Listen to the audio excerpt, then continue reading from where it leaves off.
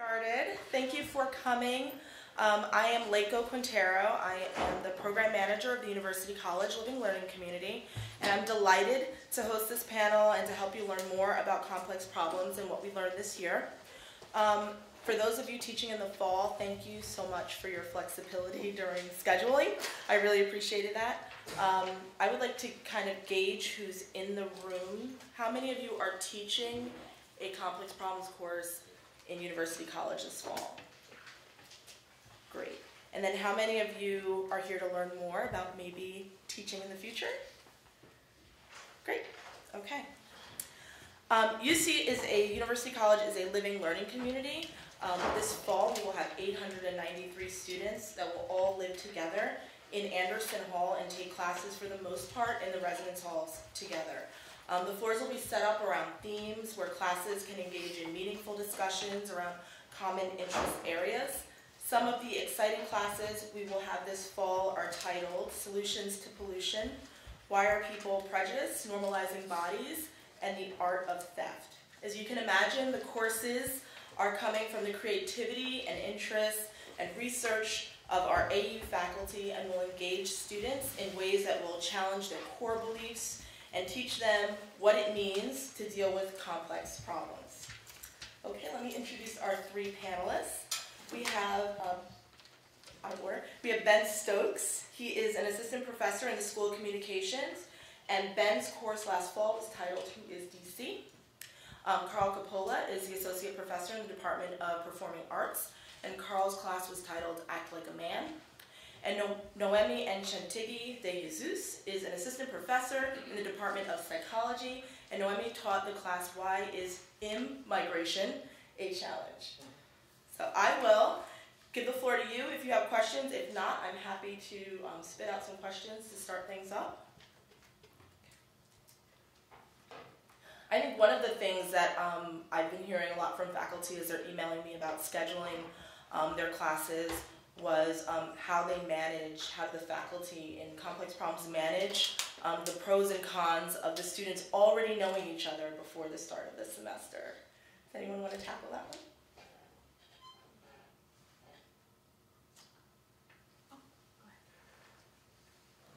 Uh, well, I think that um, uh, teaching in the fall, they really have only had a, a short amount of time together. And so they do have a certain amount of a, a baseline of knowledge. I think what we find, though, is that the, the sense of community that exists within the classroom grows very, very quickly throughout the course of this semester. And because they're spending so much time together, um, that by the time you reach uh, November and December, um, they definitely have, have this sense of, uh, of a bond that exists. Um, though also, I have to say, on the, on the other side, the, that group also does tend to fragment and kind of form into kind of cliques and subgroups within that as well, um, which can make, which is good in that there are groups of people who want to talk to each other, but there are also there's there are personal divisions and tensions that exist there, and that I think are a bit greater and perhaps a bit more heightened because they are spending so much more time together. Uh, and so in that regard, I think it is in many ways like one would expect. Um, they do know each other better, and there is a sense of, of com commonality that exists as far as their common experience, their common, um, and, and, how they view a lot of, of AU and what's going on. But there's also, I think, the, the, the tensions that can happen in a regular classroom also can be amplified. That in my class, um, it seemed just an easy way for people to start working together for assignments or projects just because they live together. It's already built in. And so in other classes, I've noticed how it's difficult sometimes for people to coordinate and find that time to meet. Here it was easier because they live together. So there are some advantages to that as uh, I would say. I, one thing that just, my, the question kind of implied that people maybe do know each other well. I actually didn't find that to be a big dynamic. So for those who are teaching classes next time, uh, I found like it was pretty open and they were just starting to get to know each other. So I, I, I didn't feel like that was a, a, big issue. Great. Does anybody have any questions? Um, how much time did you spend on teaching them sort of, this is college and, you know, introducing them to sort of skills as opposed to the content of what your particular subject was about? Or did you not do that sort of consciously and leave that to AUX? I think uh, we had to. We had to do some of that. Um, I think over time we'll probably be more aware of what's happening in AUX. Right? We're all in this new experience uh, now. But over time, we'll probably be more coordinated. So sometimes I would say things, and they would say, "Oh yeah, we heard about that in AUX." Um, so then I would know that I don't have to go over a certain skill or issue that I wanted to cover. But I think the idea is to always check first: Are they aware, or do they know X, Y, or Z? So not to assume they are learning that in AUX. Uh, I think also it's, um, I, I spend a lot more time going through the syllabus than I would in a typical class, uh, as far as the, the sense of expectations, um, that I have of them. Um, I, in many ways, I think they are, they are accustomed to a, to a classroom being largely a, a one-way form of communication. The teacher telling them the information and then they write that information down. Um, and because the idea of the complex problems classes is getting us away from that idea of there is a correct answer, um, I think getting them used to that idea, I think was, for me, the biggest challenge was getting them to look at things from multiple perspectives and that I wasn't there to tell them the correct way that they should think about a specific issue or a specific work or anything like that. Um, but as far as kind of their introduction to this is what college learning is, I didn't spend a lot of time on that. I, I kind of hoped that AUX was. I think this is a, in some ways, this is unresolved. Uh, I would say that, that I had relatively little knowledge of what AUX was doing, and that's something we're trying to fix. But at the same time, there's got, got to be a lot of overlap because um, you just can't teach too much of this. Um, here, uh, an interesting uh, example of this I heard in the very uh, first, uh, maybe it was the second week, office hours, the students said that they were really taken aback by how some students would just talk without raising their hands. Another student said they were really taken aback. Some people would just get up and go to the bathroom and they wouldn't ask. So these norms about like basic classroom stuff are, it's not uh, standard and it's not like all of them need to learn one thing or the other. They come from very different places. One of my students did was in South Africa before she was there. Another was from a really small town. So they're coming from really different places and something we've talked a lot about is how this is a, um, a really a chance for a lot of them to be in an environment with a lot of different people and we talk about that in terms of uh, class and race, but that's also just in terms of learning environments. So they're coming from really different learning environments, and I think creating space to let people talk through that seems like an important part of this class, not just AUX. Um, another example of this is uh, how to take notes uh, with digital materials. Um, a lot of them, my, my general experience was that there's very low ability to take notes. If I ask, turn to, chap, uh, turn to the third paragraph uh, on, on a reading, if they all have the reading, they've all brought it, it's on their desk. If it's a digital reading, which we're increasingly switching to, they probably actually haven't opened the file. So then they have to log into Blackboard, then they have to like click that file. There, it's like five minutes before they're ready to actually have to, get to the paragraph. So the time to a reading, this is something I, like it's a theme that I've been like talking about a lot, is how do we get people quickly to readings? Uh, is actually something that I, I don't, is that an AUX thing? Is that a complex problems? I think we probably need to teach this again and again a bunch. And so it's actually a privilege to have freshman-only classes because that stuff can be really annoying for juniors to have to hear. Um, but freshmen you probably hear a couple different perspectives on how to tackle that. So I think that that's definitely a domain of AUX, some of these kind of life skills. The flip side is you mentioned the content areas. My class um, was about DC neighborhoods, and a lot of them took it, especially because they wanted to get out into different DC neighborhoods. And that wasn't just because it was a content area, it's like here's a new city that they're joining.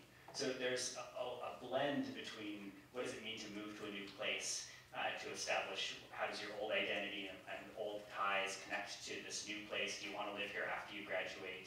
Um, a, a, lot of these kind of questions are almost like life and personal questions, they're not like content questions. So, I, and I see that as a good role for the kind of, of uh, topic areas that we're tackling in complex problems. So I almost feel like complex problems courses should ideally be targeting things that are a blend of uh, kind of personal orientation um, because they get to that interdisciplinary, big picture, complex thinking early, that's the whole point, rather than waiting until they're seniors. So I think that that's, it, it inherently should do some of that early as well.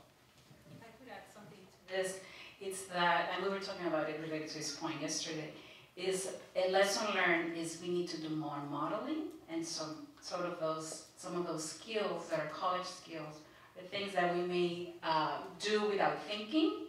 But sometimes we have to be more thoughtful about what is the process that we go through as scholars so that they start learning what are the steps we go through.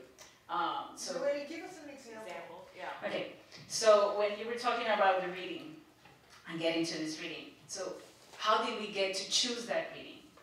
Let's look at how do we look for a database? Where is this database? Why were there other choices? Why did we end up with this particular choice for them? Uh, what are some of the criteria we're using when making those decisions? So, for instance, in class, we would talk about what is um, the source, where is this published, who are these authors, when was this published, what is this about? So a lot of different aspects that you may quickly think about as a scholar and decide this is a reading I want to share with you, going through that with them. As you're reading even, going through the process of what is you're asking yourself when you're going through a reading. And so saying that out loud to your students. So those are some of the things that I think one of the lessons learned for me is doing more of that in class. One way to think of that is um, that's almost metacognition. It's like how to think about thinking. Uh, and I think that every class probably should do some of that. I would say that complex problems, the ratio should be massively higher. There should be so much talking about how we're learning, why we're learning, how we pick the readings, how we read, uh, and not the content area. So I actually think the ratio of content to meta uh, should shift in complex problems and be really high on the meta.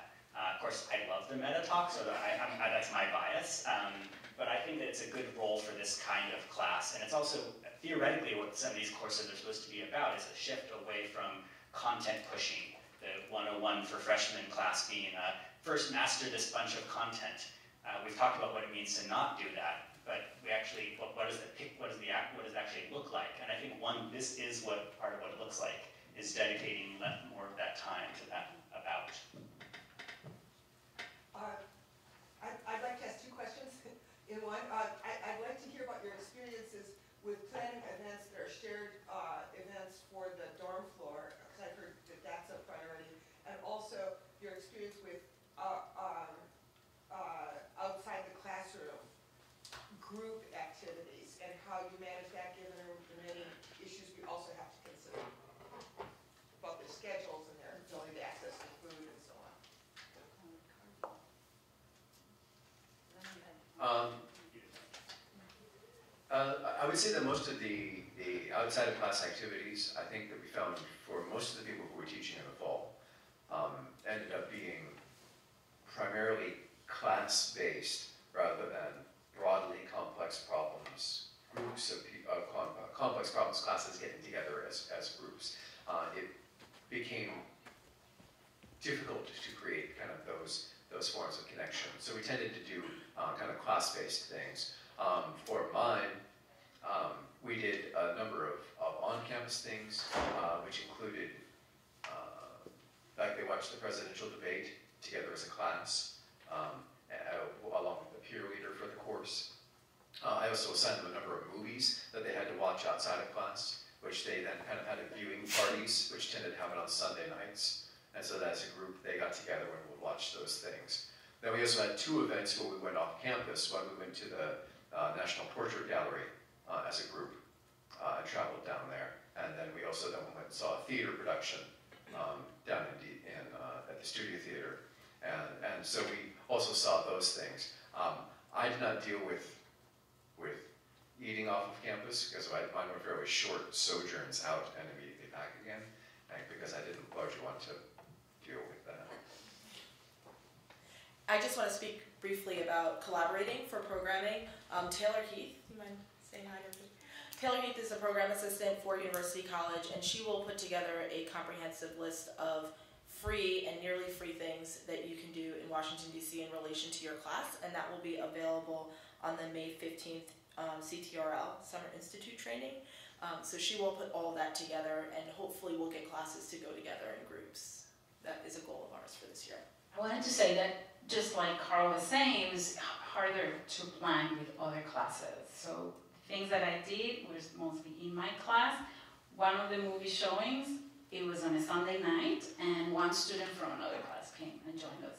But other than that, everything was within our class. Uh, for next year, a couple of other colleagues and I have already started talking about possibilities of things we can do together, and those would involve more like panels, inviting people over uh, to our classes, or not to our class because they're not at the same time, but to have an event in which our classes can all attend the panel. Um, and then perhaps some movie showings, again, trying that. But it's hard because students seem to be so busy, so to actually all coincide at the same time gets uh, really complicated. The, the schedule that Pat you were asking about, um, so I, my class was taught twice a week. Uh, actually leaving campus during that time uh, is just almost impossible, so trying to figure out how to do that. Um, so what I would do is cancel class on Thursday, uh, schedule something for uh, like a Friday night or a Saturday, um, and even then there were always, of, of a class of 15, there were always one or two that couldn't make it, which is really tricky if it's going to be something you're going to turn, like really analyze in depth, or it's going to be something like we ought to go out and do some mapping. So uh, trying to figure out some way to offer a kind of makeup activity um, was something I also had to do. So there's a there's a fair amount of kind of coordination and, and um, thinking about how we, we, you can make that a, a experience that everyone is accessible to. The peer leaders that I worked with really helped with that. Uh, so planning in advance, what's the backup? I, I almost planned double experiences anytime there was something we're going to so I thought about here's the primary, here's the backup, which is uh, it seems like kind of an excessive burden, but on the other hand, if it's going to be part of the class, you really have to do that. And I found there's a lot of talk about how great it would be if we just offered things and other students can come too. Uh, but as others have said, I think that that's actually overambitious. Uh, and I, I think that we sometimes talk ourselves up about how great it's going to be. They can all we can all join different things. I think if there's something already happening and you go to that existing public event, piggybacking on things is great. So this list that you're mentioning of events that are already happening is a great way to do it. Um, but maybe we don't need to be quite so optimistic that when we uh, invite other people to come to our things, very many will come. I think we should try to do that. Um, I, we did a we did a film showing, and I think we had one extra person come to one of our film showing to a film showing. But it, it, it, those numbers are small, uh, especially if you're tying them tightly to the curriculum. wanted to add that I high expectations for the blog class, thinking that with this blog, we're gonna go out, explore, and come back. And it didn't happen. It was not enough time. By the time we deal with public transportation, it's time to go to the next class. So we ended up doing things on weekends, as I said. Uh, so it's something for you to consider. If you're teaching uh, on a blog class, is there really time to go out, or is it to do things in-house instead? I'd be interested in knowing what kind of assignments you gave the students in these classes and how they connected to the con- concept of complex problems. Um, I gave, uh, one of the assignments that I, I had a recurring assignment around blogging, so they had to write ten blog posts, and each one would, had a question that was a kind of reflection, um, which is of course good learning theory for doing experiential learning, reflecting on those experiences, thinking about it, um, is really a- an important thing. It becomes a little more complex when you then build on the building on, so when you have them respond to someone else's, um, as, in, in a careful way, um, and, and I, by the way, I've seen this done in, in kind of the, leave a comment on someone else's, and that doesn't seem to, to go very substantive, but like, for, uh, uh, instead the assignment is more like, analyze how two or three of your classmates are similar. That requires them to read multiple and not just do the quick like Facebook reply. Oh, cool, that's, I like that idea too, which is like not as in depth. They actually really loved the assignments where they had to analyze their peers. So often they comment on their peers without really analyzing, so I think this is an example of how like those uh, kind of reflection assignments can be complexified too. Um, so there are lots of different ways to do some of this. I also did some group work um, where they wrote group blog entries. They each authored a piece of it, um, but they got a graded overall, and part of that was doing peer review um, about the different different people's sections. Uh, part of the complex, what made it a sort of complex problem is I asked them to each come from a slightly different role or cognitive perspective. One to take kind of an economic analysis, another to think about the psychology of this piece, one to think about sociology, so to do a little bit of invoking a discipline when you wrote a section. Uh, so differentiating roles, I think, is a really great way to handle some of the um, assignments, and it speaks to what I think of as the, some of the value of complex and diverse perspectives. Um, I, feel so often in group work we just say, be in a group, but they all have to do the same thing. Um, when they are given different roles, I think it actually it, it- it legitimizes the idea that there might be multiple perspectives, and it's hard to actually have multiple in your head at one time.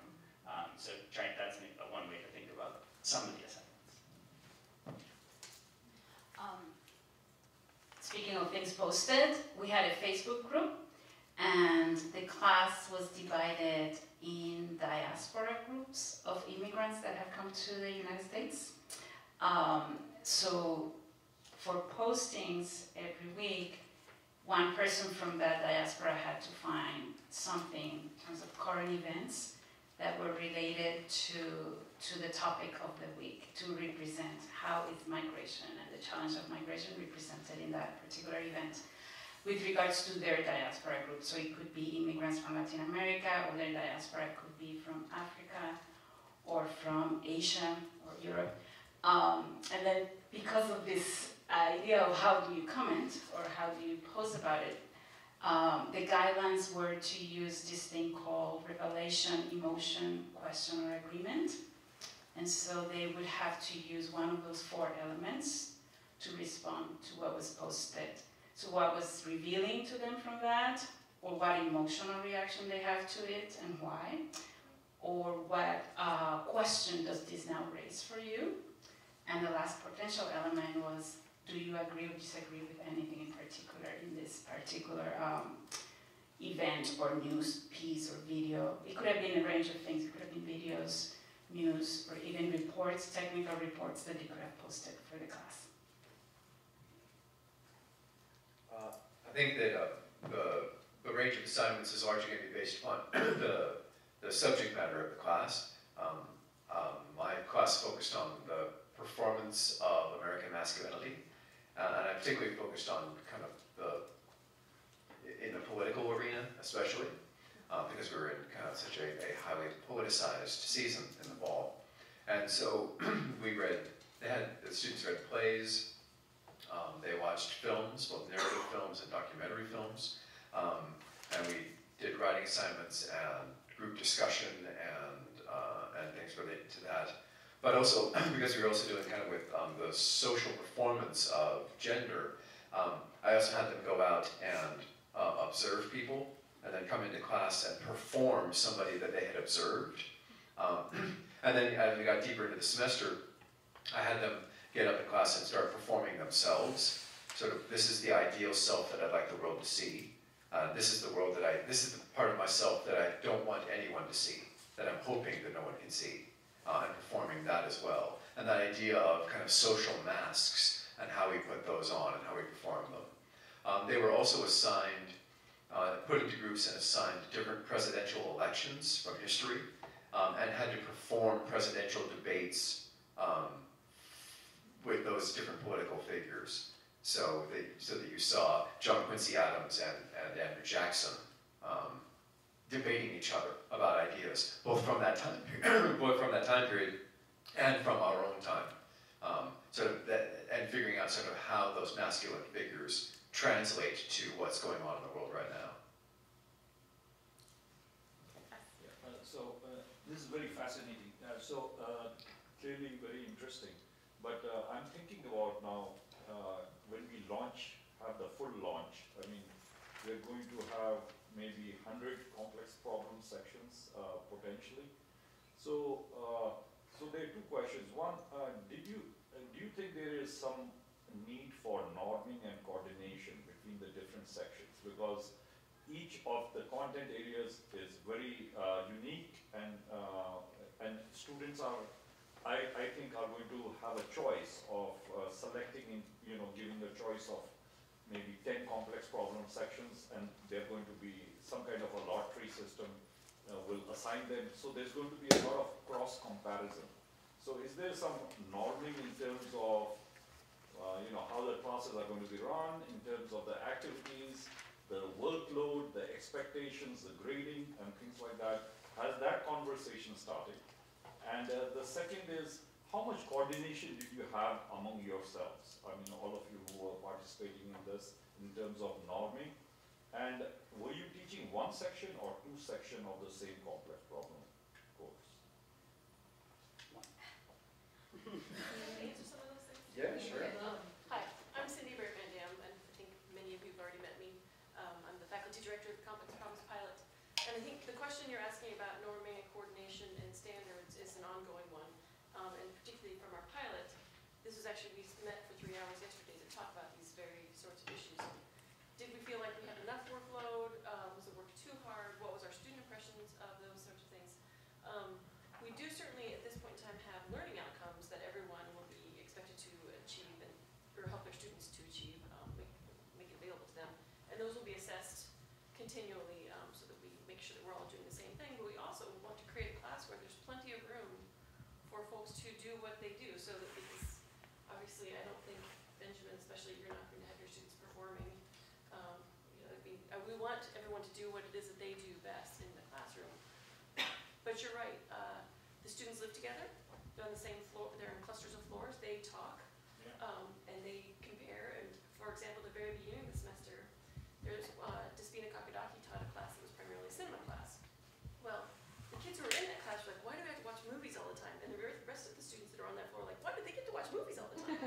Um, and so, you know, there's all those kinds of things that we would expect. Um, but at the same time, I think we're hoping that we start to form small groups of faculty based on the floor. So typically there are about eight sections on a floor in Anderson.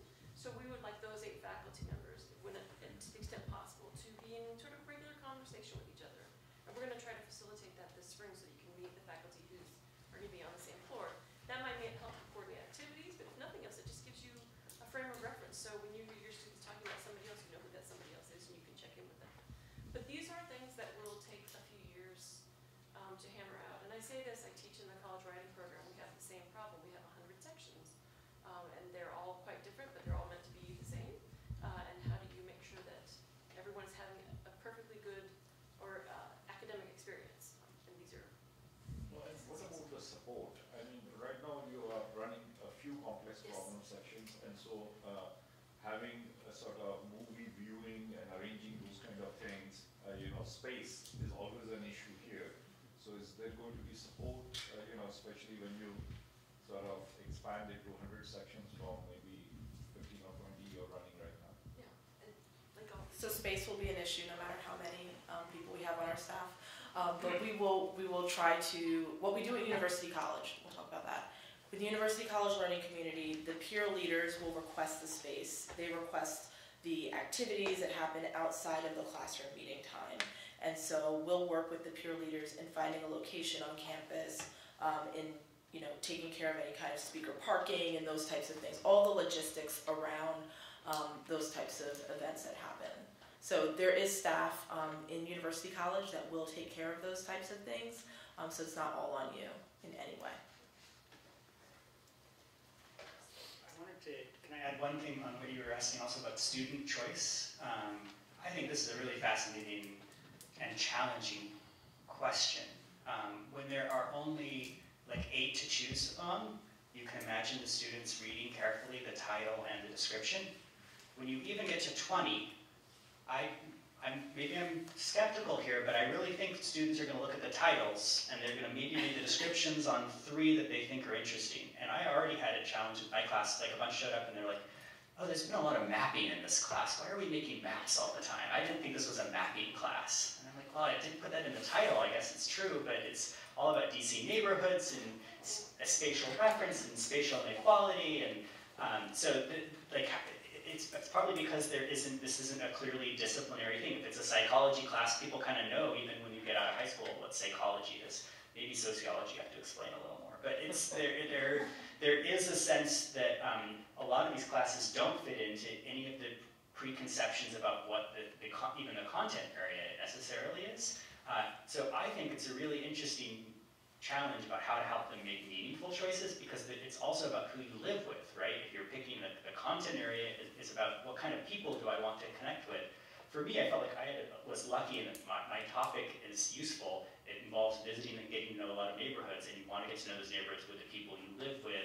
There's, there's a nice kind of synergy there. Um, but uh, is it just that we share a same interest in a similar thing? Are we hoping that in three years, when they're in very different majors, they'll stay in conversation with that group of people and they'll continue some kind of interdisciplinary conversation, or at least maybe three of the, them will in a group of 20? So I think that kind of what's the what choice, and then what are the longer term stakes for that choice? How should they be thinking about that choice? Um, I, I think, frankly, most of those things, it's really hard to give them enough information to make that choice without making it really overwhelming. Um, so I think it's a great design challenge that um, I'm hoping that universities in like 10 years will, will tackle this in a new way, other than we're going to list all the courses and they can pick. Um, so, uh, but I think that that's it. It, it, it should be a meaningful choice, especially for the kind of complex thinking we're thinking there. I, I do, to go back to the question about standards and what all of them should have, um, I think that my sense is it would be great if none of them were too hard, because it's like one of your first experiences, and the stakes of having it be too hard are really intense when you have to see the same people you're living on a hall with them. Let another class be really hard your first semester. So my, that, I would err on the side of having it be challenging, but it should be a, a fairly safe space to try things out. Um, that, that's one bit in terms of difficulty. And then second, I heard several of the classes end up defining what is complexity. So I feel like that's, at the least all the classes should do a little of that kind of work. Uh, and I think that the learning outcomes do provide some framework for standardizing some of the reflection process. Uh, although I think we've learned from K-12 that you can have great standards and you can teach whatever the heck you want with them.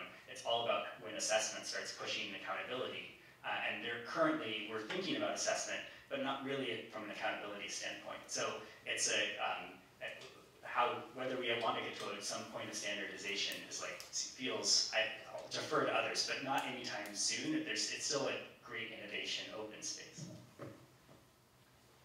Uh, I have another question about student assignments. Um, this is probably a, a crude way to measure, uh, what we're asking students to do, but are there any guidelines for how much reading you ask students to do, or how many pages of writing you ask students to produce in a given semester, given that these are all very different courses, um, with, with different kinds of intellectual improvements? Any guidelines at all? I, I can No. tell, I can tell you, that on behalf, I can tell you on behalf of University College and also, I'm the faculty director of University College and also the director of the American University Experience. There is an online site that's put out by the Carnegie, um, group, which is a workload calculator for every credit. Um, AU does use that, and we're using an AUX, so that's certainly something for a three credit class that, that can be done, every class can follow that. Okay. Where, where is that at? It's, it's, Car- yeah, you just look for Carnegie credit calculator, work, workload calculator. I, I can send it to Laiko and she can, uh, send it to everybody. I This was would actually, love that. I mean, I will say, this was a conversation we, we had yesterday, is how much work is the right amount? Because it's- it was very difficult to contrast the several different kinds of classes and the kind of coursework. So we were starting to think in terms of hours, what's a reasonable number of hours students should have to work? Knowing that some students work faster and slower. Um, so this is a conversation we will have, and we'll probably land on something by the end of the spring. Just another question to, to riff on that a bit. Is there any sort of requirement, or there a magic requirement for a capstone project? So that should there be a big final thing that students do? Or is this just a sort of, can it be a kind of continuous, you know, building of inquiry across the semester? Well, we don't have one, but what did you all do? For my class, the, I'm sorry, it looks like my first few words never come out in my, for my class, the last assignment, which would be considered perhaps like a capstone, was to present in front of the class uh, something that they had been working on through the semester. So from the beginning of the semester, their first assignment was to consider two perspectives on migration, one from the migrant side and the other from the receiving society side around the same issue, but how each side sees that. And so at the end of the semester, they came back to that, but now with more sources on both sides, more information, evidence on what those are. And then the added piece was policy. So what can be done about this? So we had read previous to the final a piece on different ways to do policy work. And uh, some of that work is more program based than actual policy. Um, but the idea was to present a way that there could be a reasonable approach to deal with this challenge. Um, and present that and then consider potential barriers to actually move forward that policy and consider facilitators, what are possible positive or are resources available that could move forward that policy work. So that was the final thing that they had to do. And that was a presentation, not a paper? A presentation, they had to do a poster for it, electronic, they didn't print it. It was electronically projected, and then they wrote the narrative for it. So the short paper was the narrative for this, with annotated bibliography at the end. So the bibliography had to be annotated to understand how each source contributed to this. Uh, For my class, um, both the, the, the first assignment and the last assignment were basically asking them to define American masculinity. Um, the first assignment was like a one-page response. The last assignment was um, basically using the readings and the viewings that we had throughout the course of the semester as their documents, using that to construct their hopefully more complicated definition. Um, so they wrote a paper with that, but it did not require outside research. It basically used just purely what it is we had already studied um, and selecting from that. Then they also did, um, basically related to the paper that they wrote, they did a presentation where they basically did, did they presented their definition and then um, shared an artistic work, It could be a song, could be a movie clip, could be a piece of art that they that they felt kind of encapsulated their definition of American masculinity. And so that was sort of the final thing was.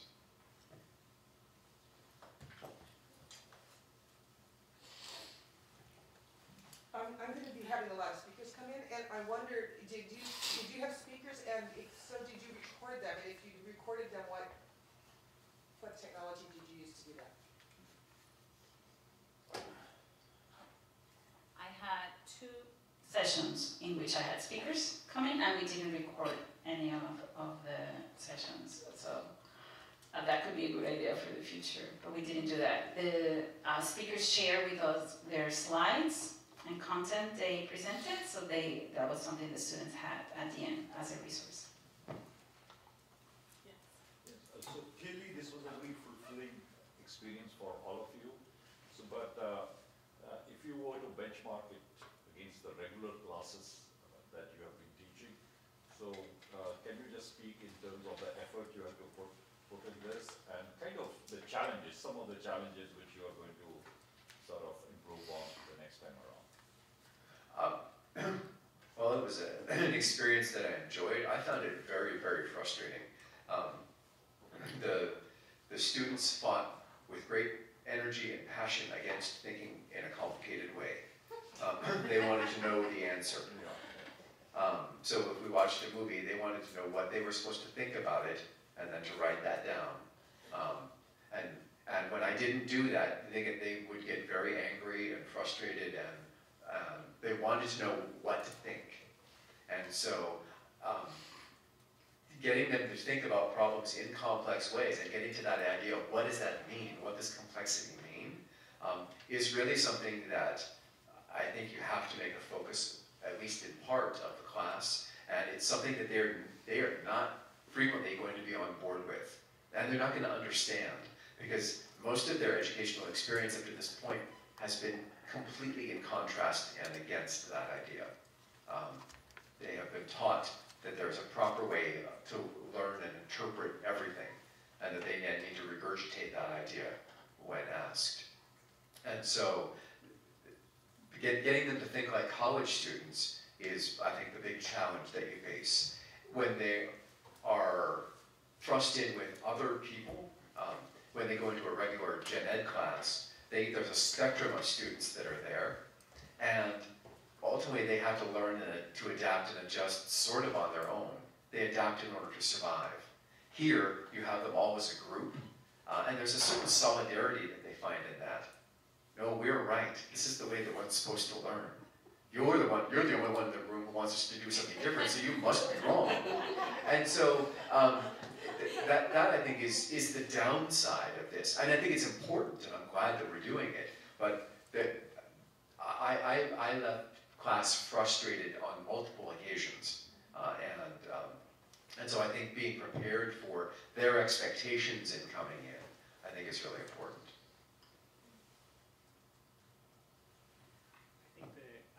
I think the, um, conversations or the facilitation uh, is, is a higher demand than most of the other courses I've taught. So that's that kind of being present and ready and feeling grounded. Like there's more of that that requires going into it. Uh, in, in some ways, um, the that's that coupled with the need to kind of constantly monitor and be a lot of uh, what kind of con- conversation we're getting out of class, checking in with like the peer leader, do you hear anything from office hours? Um, for a, especially for a class this small, it felt like a lot of pretty intense engagement. And then I felt like do, bringing in speakers and having them go out and do things felt like also part of what it was about. And that took a lot of effort in terms of the coordination. So in some ways, I felt like um, it, it had less like preparation in terms of lecture kind of prep. Um, on the other hand, a long-term lecture class can be a lot less work to uh, maintain. This feels like it's ongoing work.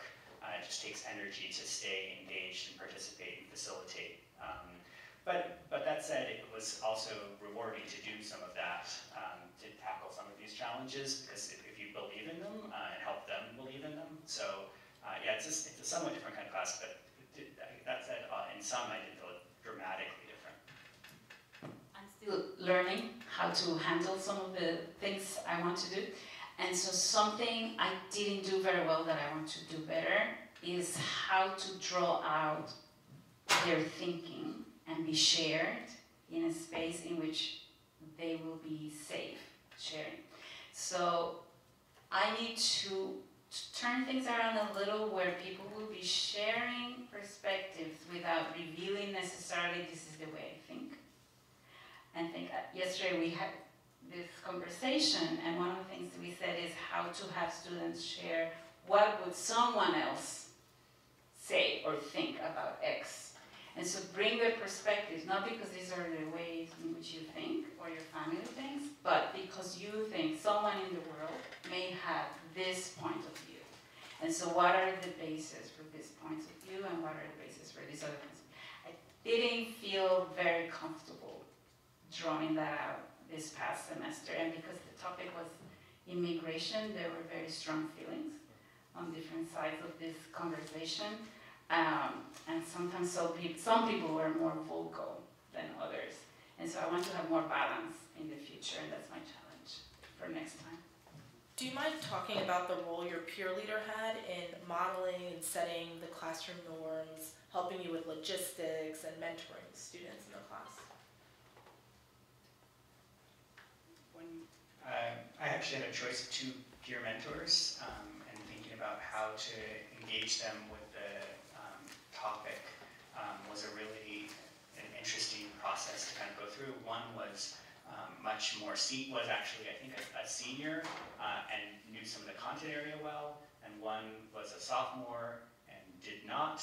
Um, and, and I think that actually I was encouraged, uh, Brad uh, encouraged me to go with the one who didn't. Uh, and it was a really interesting thing because normally you pick the student who know, has already taken the class, who's, who can then help uh, bring the other students along. For a content class, that's right. But the, I, I think that that misses, can miss the point for some of these classes. In fact, it can be useful if the person is, uh, doesn't know also, and they, and they can plead ignorance and say, well, what do you think? Um, they can model some of those kind of skills. So when I interviewed the peer leaders, I, I actually thought it was a plus that they didn't know, but they had the confidence to say they didn't know, uh, instead of feeling like they should know uh, and, and how they work. They then helped, I, I more than anything wanted somebody who could help organize something, um, who would feel comfortable going on public transit, um, and so it, it wasn't expertise in the content area, and this is a pretty different thing than like a TA. Um, so I think that calling it a peer leader was an excellent move to try and pivot and and, and talk about this as a different role uh, and what, what it means to be in that role. That said, there probably are a couple different models for what kind of person you want, and we were just talking about, it might be nice to identify three different types of peer leader, pick the kind that would be most useful for your class, and then try to find someone who fits that type. Um, It was helpful to have a peer leader who was a senior and had a lot of experiences to share. It was not necessarily about the content, but more about modeling. These are the things that helped me along the way. And so in classes, for different reasons, something would come up and she would share what she knew about that. So that was a helpful way for the peer leader to connect to the students in class. Um, and sometimes she would also comment on things she had learned from other classes and bring them into the conversation so they could also see how you make those connections. So that was helpful. And lastly, it was great to have a peer leader who was not shy about reaching out to bring opportunities for them and sharing opportunities with them um, and going out in the city and leading our outings uh, when we went on field trips. In many ways, I think the, the peer leader can serve as something of a social organizer, um, and having somebody whose personality is right for that, um, and who can also, though, model in the classroom, sort of, here's a proper way of engaging with the material, is also really helpful. Whether they know the content or not, uh, my, my peer leader um, was a, a performance student, but didn't know my area at all. Um, and so she was coming from a point of innocence like the students were, but she was an experienced college student. And so her level of engagement and complexity was much better and stronger. And I saw them learning from her. But she was also very good at putting them at ease um, and um, served as a helpful bridge between the students and myself because they were far more comfortable coming to her with questions and concerns than they were in coming to me. And so I thought she was really useful in that way. But a lot of what she did was organizing, sort of, we're going to read this thing together and talk about it outside of class a little bit, so that when we come into class, we're actually ready to talk uh, a little bit more. Or we're going to watch this movie together, just because it's more, we're going to get more out of it as a communal experience than as a solitary one. Can you talk a little bit about your best intentions versus what really happened in your classroom or co-curricular activities?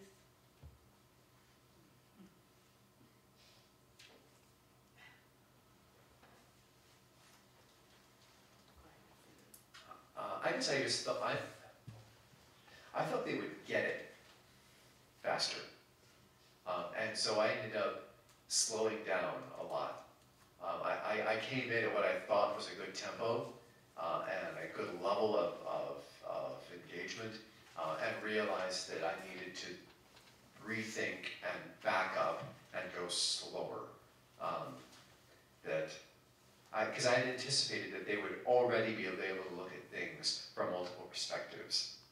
And I would say that a, probably a majority of them did not do that, that they were, and were incapable of it early on.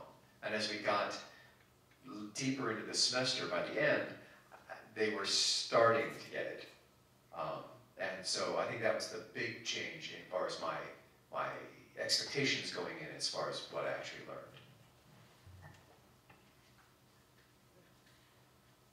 One thing that I learned about changing expectations is how many iterations of something I assign should I have. Um, so for an assignment, should we continue working in this same assignment for a while to make sure that we're getting, we're hitting those learning outcomes you want from it? Um, so that's something I think I want to change because my best intention was, okay, so if I do two, I started with, okay, let's do one. You submit this thing once, I review it, I give you feedback, and then you submit it again. And I thought that that was it. The second version was going to be this fantastic thing. Um, so learning that I need to change those expectations and work with them more on what is it exactly that we want to shoot for and what is it that we're aiming for. So that was something different. One, uh, one thing I thought was interesting was that some students in high school have much more training for this kind of thinking. And so we, we're used to thinking of some students as maybe being more skilled or even bit smarter. Um, but th- this is actually almost more like whether they've had learning environments before that are open to complexity. Uh, and I felt like that was one of the most challenging things actually, is there were certain students who had, uh, and they were ready to talk in class all the time. And one of the hardest things was actually leaving space for students who didn't have experience with complexity, which is a slightly different twist on the usual thing. It's like the extroverts versus the introverts. It's not the same as just extroverts and introverts. Uh, are some very extroverted people who are used to like taking a side and, and, and can make a really compelling argument for something. And that's not complex thinking, that's like a compelling argument for something. So what does it mean to show multiple perspectives, to step back and like own your stakes in something, but also recognize other sides? Like that's, that there's a, it's in some ways, uh, a kind of, a lot of it is some some soft skills training um, that I think that some students have much more experience in. So how to balance a classroom for kind of some of the soft skills training, not just extrovert, introvert. That was something that felt a little bit um, different. Um, and I think that um, maybe in terms of another expectation, um, this is uh, a little on the technical side. It's worth just, this isn't exactly the focus of this session, but it's worth just keeping in there. I keep feeling like the, I keep encountering this uh, rhetoric around all- all our young students know technology so well, and it's like totally not the case. Uh, they're so there was so uh, inability to edit pictures, to like resize things, uh, telling how to have them learn how to do track changes. Not the case. So this is uh, even though this is not the focus of complex problems, there was a lot of trying to encourage them to learn from each other around technology. Uh, and I know that this is not a technology place, but is technology a soft skill in a certain way? Well, learning it, I think, is. Being willing to talk to your peers and get help. Um, so I think this is actually another area that isn't exactly AUX, but maybe is um, complex problems, a little of how to learn from each other outside of the classroom. Um, that was something that was a little bit surprising to like blog posts with images. Um, they really needed to learn from each other how to do some of that. Uh, Um, how, how much time do you devote, like, in a given class to allowing them to have an open discussion versus actually giving them an assignment or, um, giving a, a small lecture on the way to think about something or to set something up or, um, that kind of thing?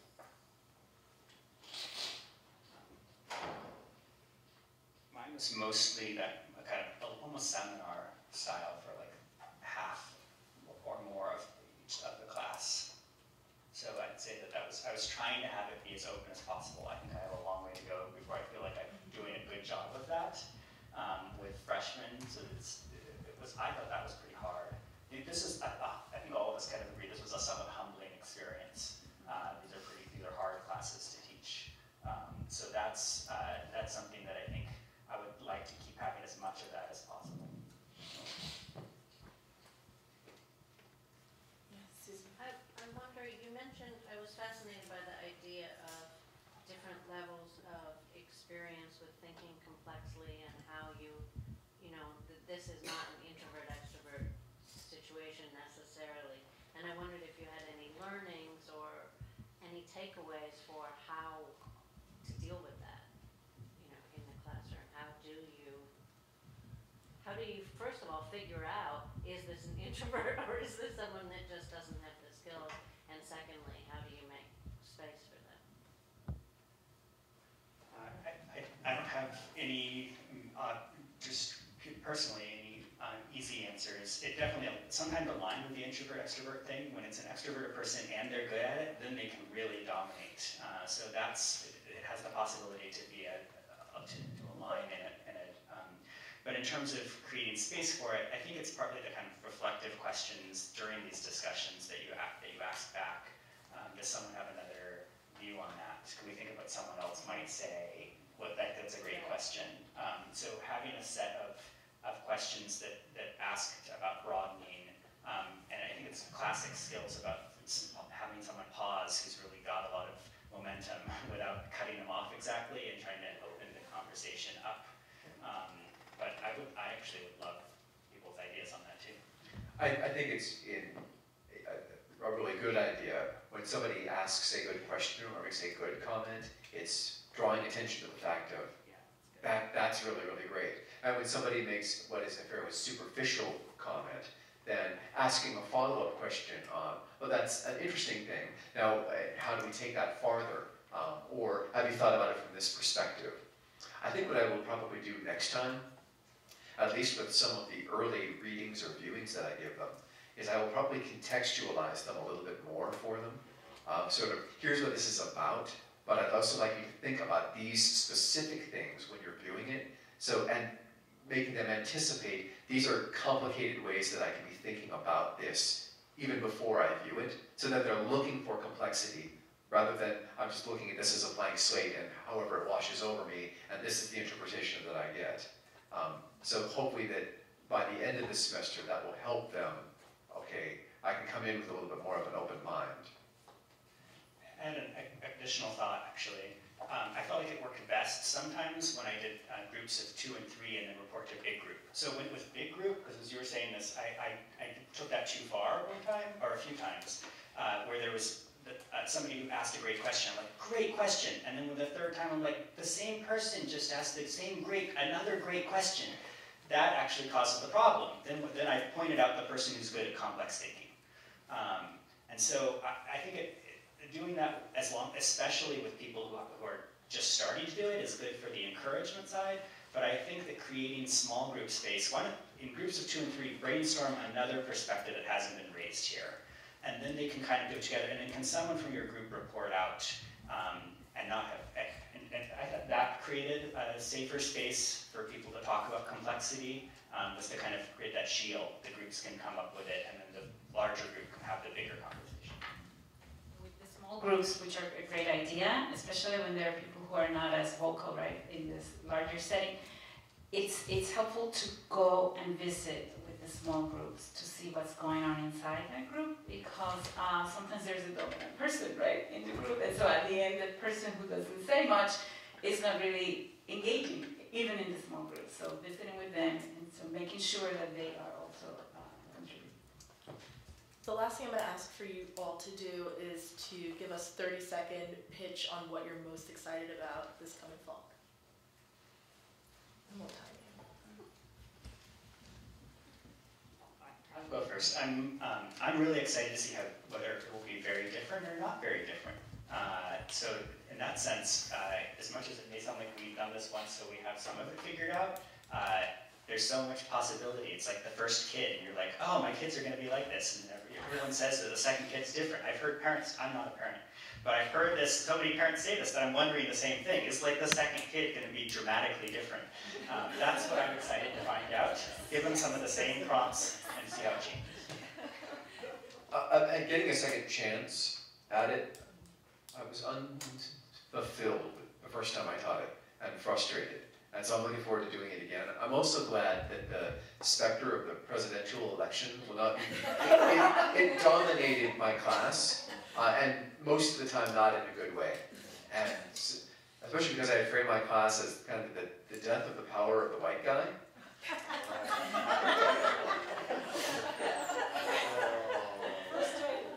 So, because my class is on immigration, I'm looking forward to seeing what mindset the students are bringing next year after we've had uh, almost a year with new regime. We'll see what that is like. Thank you, and I hope you all learned plenty um, from our panel and it sparked ideas for your complex problems course and how you will impact um, AU students in the University College Living Learning community. You are training these first year students, as you can tell, to be better students for themselves, for your colleagues, and for the world. And I'm going to leave you with a quote from How College Affects Students by Pascarella and Terenzini.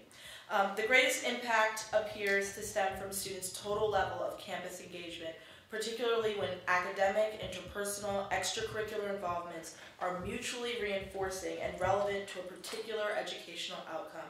Thank you, and I look forward to working with you all in the coming months.